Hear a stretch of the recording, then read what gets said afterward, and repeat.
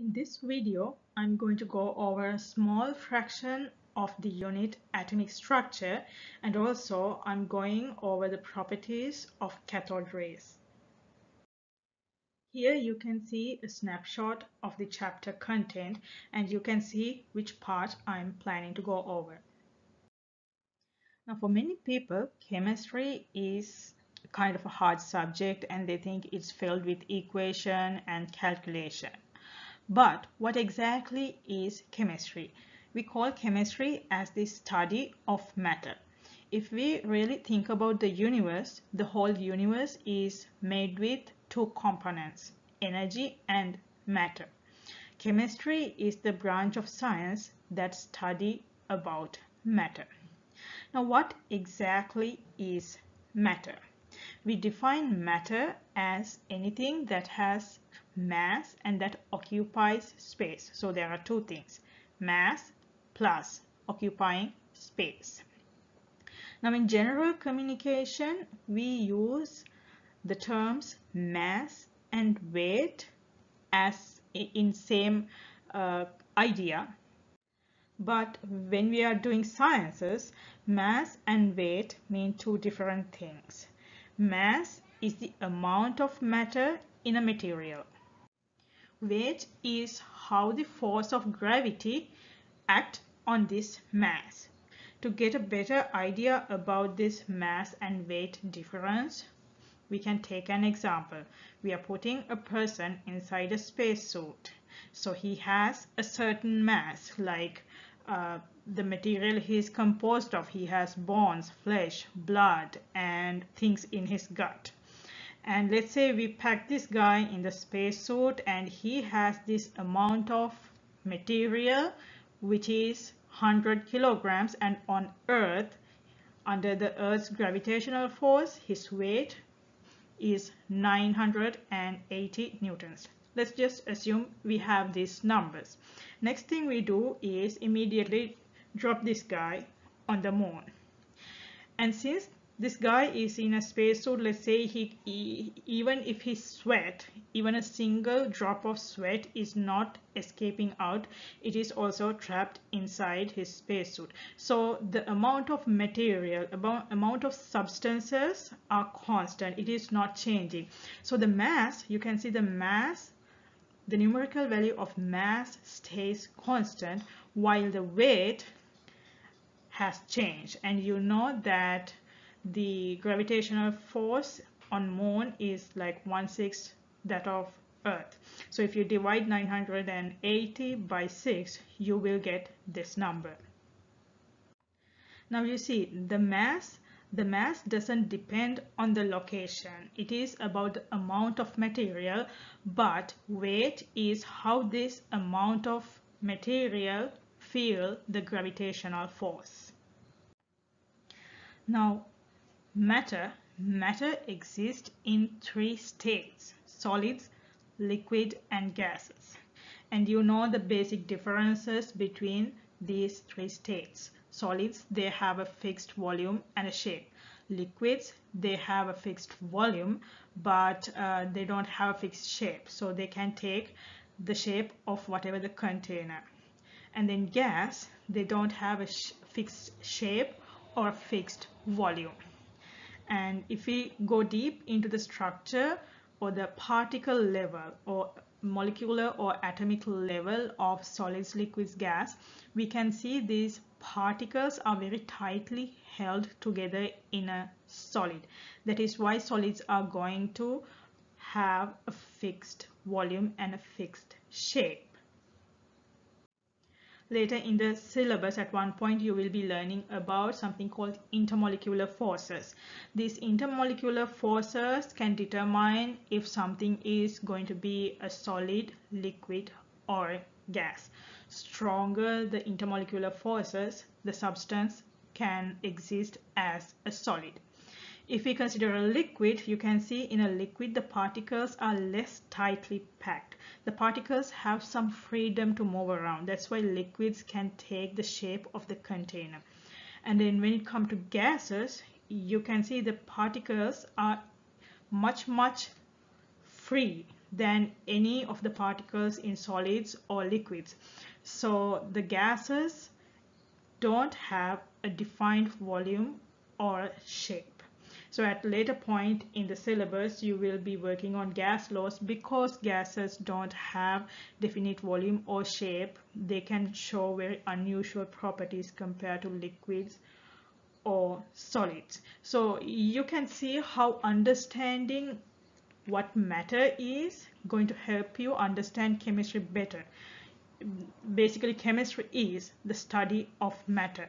The only thing is that when we study it, we represent how it works through equations and calculations, maybe concepts and models. Now we know chemistry is a study of matter and also we know what matter is. Now the next question is what exactly this matter made of?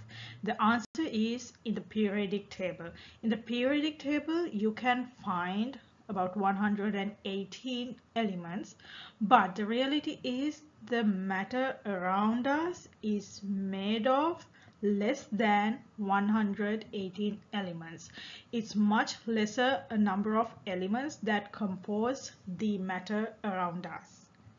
However, there is a great diversity in this matter around us. We may have uh, live uh, live things the animate and inanimate uh, substances and we can find solid liquid and gas substances in this matter. But anyways all this stuff is made with less than 118 elements. Some elements in the periodic table don't really exist in nature they are very unstable so even though we have great uh, diversity a great variation in the properties of the matter around us we now know everything is made with less than 118 uh, types of elements. So how can such a fewer number of elements create this kind of diversity? It's in the bonding nature, the combining ratios, the ratios these elements combine when they make substances and uh, the strengths of the bonds. So this is what we are going to look into uh, through learning chemistry in this A-level chemistry course. Here I'm showing you the summary of the evolution of atomic theory. I'm not going to discuss everything in this video but I'm, I, I will be discussing a small fraction of this uh, summary. But before going into greater details, I want to clarify a word, a term. I want to make sure that you understand the word theory. Theory and law are very different things. When you read about the structure of atom, you will keep on coming up with this word atomic theory, but you will never find a word as atomic law. A law tells us what happens and a theory tells us why it happens. So a law is more like a statement, maybe uh, it's, it's an equation, it's a very simple statement, but a theory is more like an explanation. For example, uh, you might have heard of laws of gravity. With laws of gravity, you can tell that if you throw something, it should fall down. But let's say you're throwing a ball at someone. When you throw a ball, it will fall down, but it may not travel in a straight line. It may it may travel in a parabolic trajectory. So we can uh, the the explanation we give to explain that parabolic trajectory that can be a theory. So basically a theory is a, some sort of a model we use to explain a certain behavior. When it comes for the atomic theory, there were many scientists who did different types of experiments and based on their observations, they try to give an uh, idea about what atom is, what the smallest unit of matter could be. Now the problem with theories is that there is always a possibility that our theory can go wrong. But laws are not like that. Scientific laws, they never change. So there are these rare, rare occasions where we can upgrade a theory into a law. If we can prove that our theories uh, will never go wrong under any circumstance, then there is this uh, very rare opportunity to upgrade our theory as a law. Now coming back to atomic theory, we still don't have atomic law. What we have is theories, models, models proposed by various scientists. In, in chemistry, we uh, keep on switching between the quantum model and Bohr model to explain certain things because one model cannot explain everything. So as you advance in chemistry, you will come across many other different types of models to exp explain certain uh, properties of matter. So when you try to explain things, you it is very important you know which model you are using. If you are using the wrong model, you will not be able to explain the asked phenomenon or the described observation cannot be explained if you use the wrong model. So this is the point I want to bring, I wanted to bring your attention. Now let's look into early ideas about matter. As early as 440 BC, the philosopher Empedocles proposed that all things are made of fire, water, earth, and air. Later, another philosopher named Democritus proposed that the matter is made out of tiny, invisible, and indivisible particles. The term indivisible in Greek means atomos. So that is how we came up with this word atom uh, it, it derived from Greek word atomos. So the word atom basically means indivisible. It cannot be divided anymore. Now these people are philosophers. They are not scientists. They didn't do any scientific experiments. They were observing uh, the nature things around them and they, they proposed their opinion about it. After Democritus, there were few other philosophers like Plato and Aristotle that opposed Democritus' opinion about matter, the particle nature or the indivisible invisible particle. So the philosophers like Plato and Aristotle said that there cannot be such kind of an indivisible particle. And you know what? people believed it because Plato, Aristotle, they were great philosophers. Now you might be wondering if you are required to remember these history stories. Yes, of course, you need to remember these uh, names and what kind of ideas the philosophers proposed because that is going to be sometimes a part in your multiple choice questions. Now, in the known history, the next person to bring an idea about the smallest unit of matter is John Dalton. After Aristotle and Plato opposed Democritus' idea about the indivisible particle, people actually believed it and it is in the 17th century that people finally started coming up with more ideas about smallest unit of matter. There are several points in this uh, theory proposed by John Dalton. We call them as the postulates of Dalton's atomic theory. So the first postulate is that elements are made out of extremely small indivisible particles called atoms. So he was kind of going back into what Democritus said. John Dalton is an Englishman. He was a school teacher. Now this is a person who actually did some basic experiments. Back then, bringing back this idea about indivisible particle was a giant step in the evolution of the uh, atomic theory. However, by now we know that there are subatomic particles such as electrons, protons and neutrons Uh, so some of these Dalton's postulates can go wrong. As I said earlier, things like theories, they can go wrong.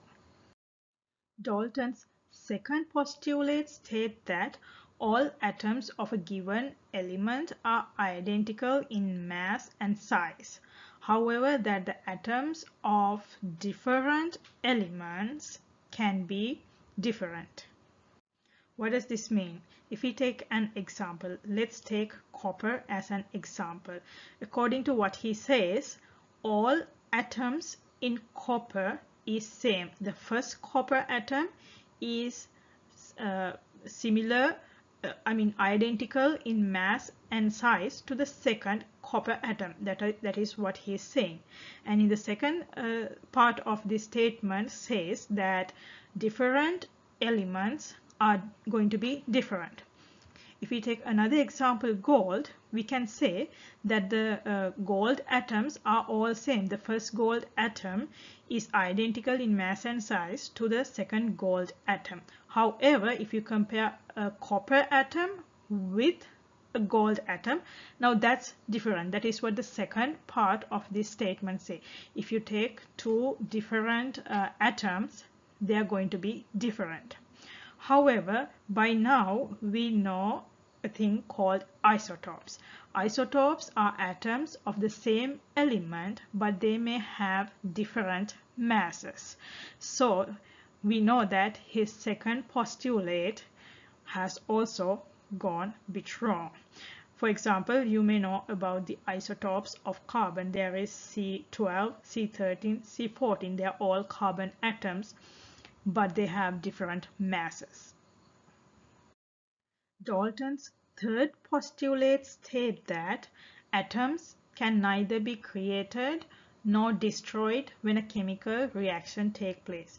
So when we have a chemical reaction, what we start with are the same elements that we end up with. For example, we are combining carbon and oxygen together. These are our reactants and on the other side we have the products which contain the same elements we use. So that is what he says. Atoms are neither reacted nor uh, neither created nor destroyed in a chemical reaction.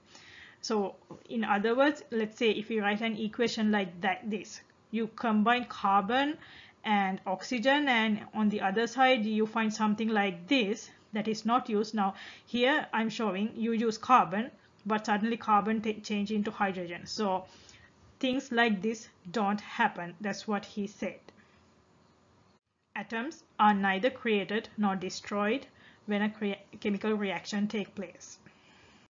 In his third postulate, Dalton states that when a compound is made, two or more atoms of different elements combine in simple numerical ratio. For example, we'll take combining carbon and oxygen again when carbon and oxygen combine here we see the product carbon dioxide and you can see in carbon dioxide carbon to oxygen ratio is 1 to 2 so the atoms of different elements combined in simple numerical ratio we can take another example combining carbon and oxygen i'm not writing balance equation i'm just showing the ratios so in, in here, I'm showing you carbon and oxygen combining to make carbon monoxide. In here, you can see that carbon to oxygen ratio is going to be 1 to 1. However, nowadays we can synthesize uh, many compounds with very different uh, element ratios. It is not going to be as simple as uh, Dalton states. Even in nature sometimes we can find very complex molecules. So things are not going to be this simple uh, in nowadays the next important name we come across is Johnstone Stoney. He named the fundamental unit of electricity as the electron. However, he did not have any experimental evidences to prove the existence of it. Now it's very important to remember that this scientist is not credited for finding the electron. He is not the one who is credited for finding the electron, it's someone else. What Johnstone Stoney is credited for is naming the fundamental unit of electricity as the electron. The person who is credited for finding the electron is J.J. Thomson. So we are going to look into his findings much later. Now let's look into the cathode ray tube experiment, which is also called as the Crookes tube experiment in honor of Sir William Crookes. In your school, you will be doing this experiment. You might have a cathode ray tube like the one I have shown here, or your cathode ray tube might be slightly different from this one. In this experiment, he used a tube where a low pressure is maintained and he connected two plates to a high voltage source. The plate connected to the negative end is the cathode and the plate connected to the positive end is the anode. When this high voltage was given, he observed some rays emitted from the cathode. Since these beams were emitted from the cathode, those radiation is called as the cathode rays. He also observed that when he placed an object in front of these rays, that it creates a shadow. Now, William Crookes was not the only person who was doing these kind of experiments. Many other people were playing around with electricity and used this kind of cathode ray tubes doing uh, different variations of this experiment, which we are going to look into now. Here you can see a cathode ray tube. Uh, this is going to be connected to the high voltage supply and then you can see the cathode ray emitting. Now the electrons they actually don't have a color. So how come you see a green color? This is because when the the electron travel from the cathode they hit the gases that is inside the tube. And when the electrons hit the gas atoms there are certain electron excitations and de-excitations. That's what caused that color. Now you can see an object is placed in front of the path and when we uh, provide the high voltage again you can see how it generate a shadow. Now what is your observation in this part? You can see that when you place an object in front of the path of the cathode rays, it generates a shadow with sharp edges. What can you conclude with this observation? You can say that the cathode rays travel in a straight line. In this part, we are going to test these cathode rays in the presence of a provided electric charge. Now here you can see two plates here. When there is no charge, there is no deflection in the beam but when a positive charge is given to this upper plate you can see the cathode rays are going to deflect towards the positively charged plate. Now you know similar charges repel and the opposite charges they attract. If something attract towards a positive charge, then that something should be negatively charged. So from this part of the experiment, you can say, uh, you can observe that the cathode rays deflect towards the positively charged plate. So you can conclude that your cathode rays are composed of negatively charged particles or the cathode rays are negatively charged. Next, we are going to look, look into a slightly different cathode ray tube where there is a light paddle wheel uh, inside this tube. when the uh, the voltage supply is given and the cathode rays are emitted you can see that this paddle wheel move. And there is an inverter. We can switch the cathode and anode time to time. So you can see when the cathode rays hit this paddle wheel it start moving so observation is that the blades of the paddle wheel they rotate that is our observation and we can draw a conclusion that the cathode rays have momentum. The cathode rays are composed of particles that has a mass and they have a kinetic energy. Here we are going to see how cathode rays are going to behave in the presence of a magnetic field. You can see that when we hold the north end of the magnet, the cathode rays deflect in a perpendicular direction and the uh, south end is provided the cathode rays deflect in the opposite direction but perpendicular. What if we give a parallel magnetic field? You see that this cathode ray is not going to deflect. So the observation of this part of the experiment is that when we provide a magnetic field, the cathode rays deflect in the same way that a negative charge would behave.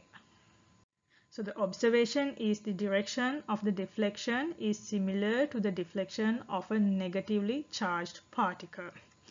So what is our inference? That the cathode rays are composed of negatively charged particles.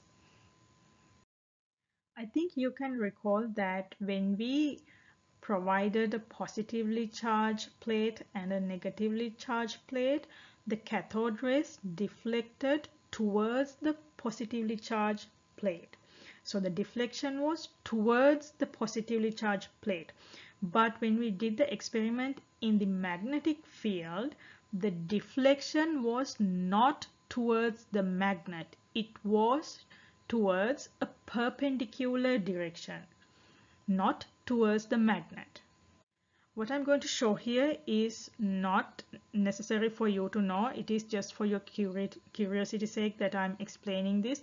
Otherwise, this is more like a physics concept. But for anyone who is wondering why this uh, cathode ray deflected in that kind of a direction in the presence of a magnetic field this is why now here I'm showing you a cathode ray tube and I'm holding a magnet.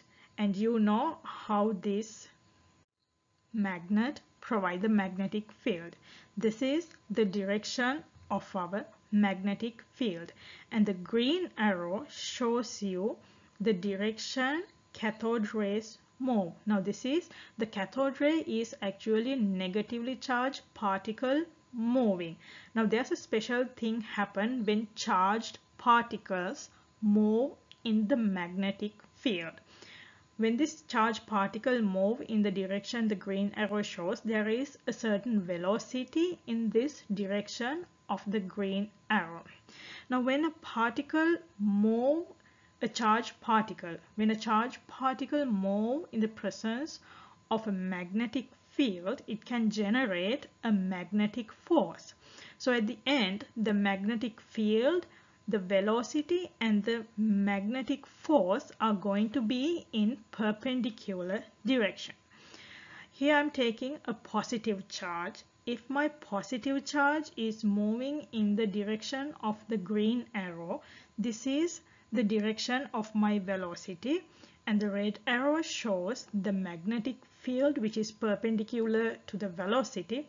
And then if this positive charge is moving in the direction of this green arrow for the positive charge I will get a magnetic field as shown is the as shown in this blue arrow since our cathode rays are negatively charged, what happens when we move a negative charge in a magnetic field is that our magnetic force is in the opposite direction. You can see here I'm keeping the direction of my velocity the same and I'm keeping the direction of my magnetic field the same but for a negative charge the magnetic force is going to be uh, in the opposite direction compared to the positive charge. So what happened is what you observed in the experiment, your cathode rays are going to tilt, uh, deflect in a direction perpendicular to the, the magnetic field.